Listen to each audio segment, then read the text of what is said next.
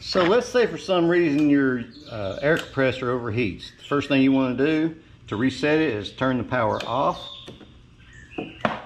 unplug it, let it sit for 30 minutes so the unit will reset itself.